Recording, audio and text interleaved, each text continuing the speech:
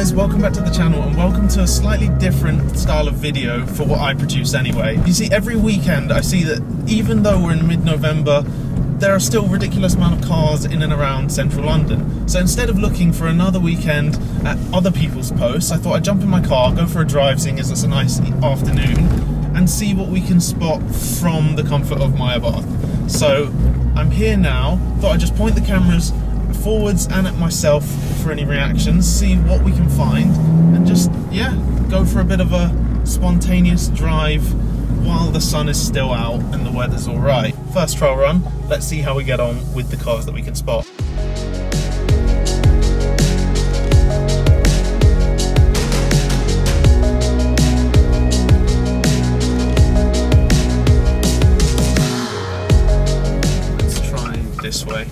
I know that there have been good cars out. Knowing my luck, there won't be the same level while we're driving around, but it's worth giving it a shot anyway in case something special pops up. Before we rolled the cameras, I saw a singer in my rearview mirror. I tried to guess which way it would go so I could stop and kind of follow it to start the video. As you can see by the lack of singer in the introduction, that didn't work. But I still have faith that we'll see some cool stuff. Kicking things off, I've done a bit of cheating here. I have already done a loop round here. Got an amazing looking Performante with the bronze wheels and satin orange. I mean, it might be orange paint and then satin PPF, but looks cool either way. Look at the exhaust on that M5. Oh, okay. So I can see 812, 812 GTS. Very cool number plate as well. Aside from supercars, I don't know if you can see that. Jesus. There's a Polo with a lot of modification done to it. Probably not by choice because it looks like it's been crashed into quite badly, which is it's actually quite sad. Probably parked there and then someone else has hit it. Oh my god. Literally the entire rear quarter. I know it's really bad camera skills, but it's all mounted to my dashboard. That is huge damage. Ooh, that is cool. Brabus G-Wagon. All the extra lights, the kit. That, that makes... Oh, but I hate when they don't have the real wheel.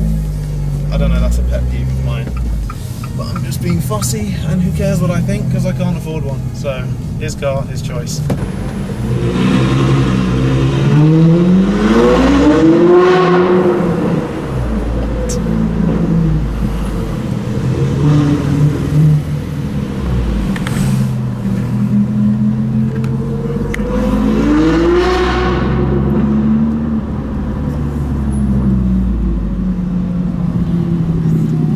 So as cool as that F12 was, I've parked the car because I've heard news there's something very special under those lights just there. So I'll park around the corner so we can check it out on foot because this one is very cool.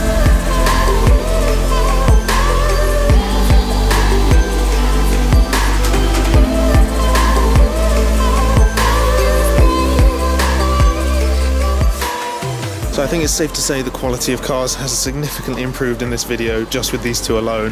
6x6 and matching Chiron. These cars have been in London before and no matter when they come they still manage to draw a crowd from every single passerby. I mean it's not a subtle sort of pairing is it?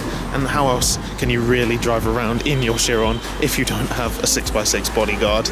It's just ridiculous to see on the streets and just comparing, I'll overlay some proper footage because obviously it's hard to walk around all these people but just comparing the height of the wheel arches here to the Chiron roofline. It's fairly ridiculous, and they're both spec really well. So, a nice addition and a nice way to kind of improve what we've seen so far. Half carbon bodied Chiron exposed there. It looks so, so cool.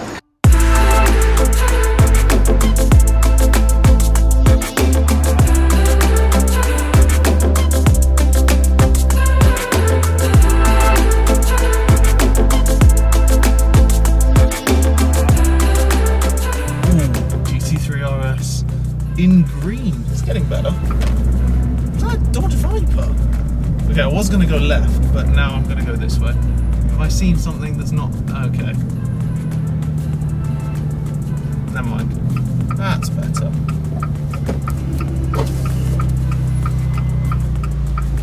Gives me something to film. Yeah, that is a cool number plate, cool car, cool spec. 600 LT on the side. I brought my window down just in case you could hear a little bit of it, but it's crazy with these modern supercars, all the Valvetronic systems that they offer. My car's making more noise, which makes me look obnoxious and like I'm overcompensating for something, but his is pretty silent. I mean, it makes it a good tool to be able to use in and around town and then make as much noise as you like when you're out and we've lost him. Okay, I'm gonna follow him around that way because I've seen something else that I wanna get on camera actually round the other side here. Okay, we caught up with him anyway. London traffic. You could be on a bicycle and you're as quick as the fastest car in front of you, but round the other side, it's a hot hatch that. I mean, there was a lot of hype. I probably missed that boat, but they're still trading for Rovers and they are still very cool. You'll see it. Okay, and we've got another 3RS. So I'll leave that one and we'll follow this one instead. No, but what I was actually coming around here to show you was that the GR Yaris look how fat the arches are at the back. I think they've done a really cool job of making that so different to the standard Yaris. I'm going to leave that now and head in this direction, even though we've just had GT3 RS after GT3 RS kind of thrown at us. I think we'll have more luck if we try something different down here. I'm cheating a little bit. I know there's a specific car in a specific location that should be there that should make the video a bit more interesting. So we're going to try that now. I don't know if you can see that there. We've got a GTC 4 Lusso, I think the V8, and was that McLaren GT? I don't know if I'm more shocked that I've seen one or more shocked that someone's bought one, to be honest. I, I mean, I've really not seen that many of those since they launched. They did launch quite a while ago. Ah, oh, I don't think there's anything there. I'm going to try this way just in case.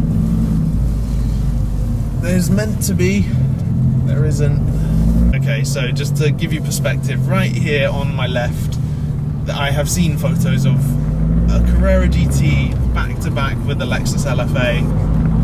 But of course, that's not going to be here today, so we have not managed to see that. Instead, I've seen a Levante. Oh, as there's another one coming as well. Great.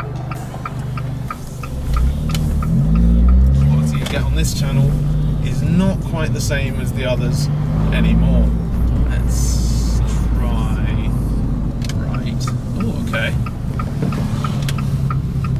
Everything's just conveniently placing itself in front of us so far.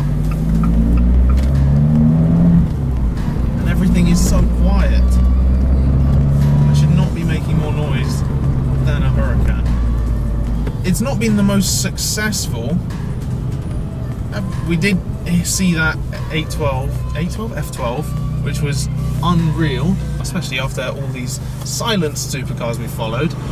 I hope it gave you an idea of some of the cars around at this time of year even. I mean, to see all of that in such a short amount of time, really I haven't cut too much. It is crazy. What you can see in this city, the amount of money flying about, yeah, there's cool cars all the time. Just have to know where to find it. And clearly, I'm out of practice, but that means there's scope for improvement and future episodes to come, hopefully. So let me know if you think this was a good concept, obviously stolen from people that I've watched before. But if you like the idea of me just driving around, seeing what I can find, if you want me to do another video in future, just let me know, and I'm sure that can be arranged. Oh, there's like a Huracan going past.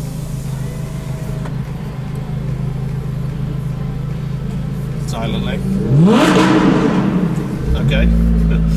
I take that back. Yeah, I think that's as good a place as any, to be honest, to end the video. Comment below, leave a like, stay subscribed, and hopefully there'll be more content like this to come very soon on the channel. Take care, guys.